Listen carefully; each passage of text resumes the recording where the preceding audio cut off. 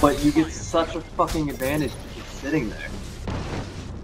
You know what I mean? Like you just you freeze someone, just throw it around a corner, they freeze, and go fucking really naked. You don't even have to worry about it. Advantage is yours.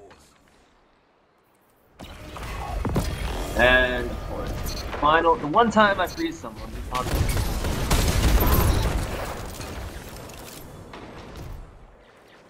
What is that?